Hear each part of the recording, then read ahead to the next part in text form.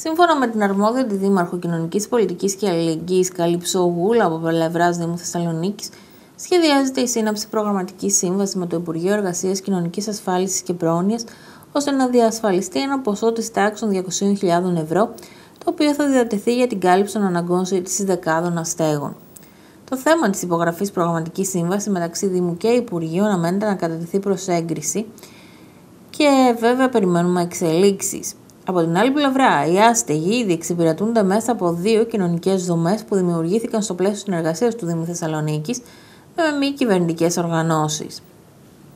Η πρώτη δομή που οργανώθηκε είναι το Υπνοτήριο Αστέγων, το οποίο λειτουργεί στον πρώτο όροφο ακινήτου επί της Ανδρέου Γεωργίου 13, το οποίο βέβαια αγοράστηκε και παραχωρήθηκε για αυτό το σκοπό από τη φιλόπτωχα αδελφότητα ανδρών.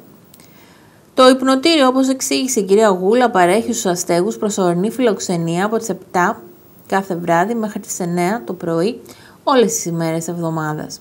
Οι κοινωνικές δομέ του Δήμου ενισχύθηκαν πριν από λίγους μήνες και με τη λειτουργία ανοιχτού κέντρου ημερήσιας υποδοχής αστέγων, το οποίο λειτουργεί επί της οδού Μοναστηρίου 62. Το κέντρο λειτουργεί καθημερινά από τις 9 το πρωί μέχρι τις 9 το βράδυ, παρέχοντας στους αστέγου κοινωνικές υπηρεσίες αλλά και δυνατότητα φροντίδας της ατομικής υγιεινής τους. Από την έναρξη τώρα της νέας δημοτικής περίοδου, η Αντιδήμαρχος Κοινωνικής Πολιτικής και Αλληλεγγύης είχε αναφερθεί και στην ανάγκη διεύρυνσης των δομών των συσιτίων, ώστε να ανακουφιστούν όσοι έχουν πληγεί βάναυσα από την κρίση. Σήμερα ο Δήμος Θεσσαλονίκης, μέσα από τις δομές που έχει αναπτύξει, προσφέρει καθημερινό τραπέζι σε περίπου 770 άτομα.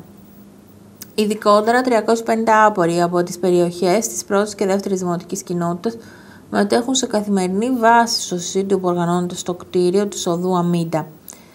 Από περίπου 100 άτομα σητίζονται στην τέταρτη και στην πέμπτη κοινότητα, ενώ το συσίτιο που οργανώνεται στην τρίτη δημοτική κοινότητα απευθύνεται σε 60 άτομα. Στη λίστα των κοινωνικών δράσεων του Δήμου Θεσσαλονίκης προστίθεται ακόμη ένα συσίτιο για 100 άτομα σε κτίριο επί της οδού Ειρήνης. 4. Εξάλλου, καθημερινή σύντηση επιπλέον 60 άτομα που μένουν στην περιοχή της Τριανδρία διασφαλίζεται μέσω του προγράμματος Θεσσαλονίκης Φιλέματα.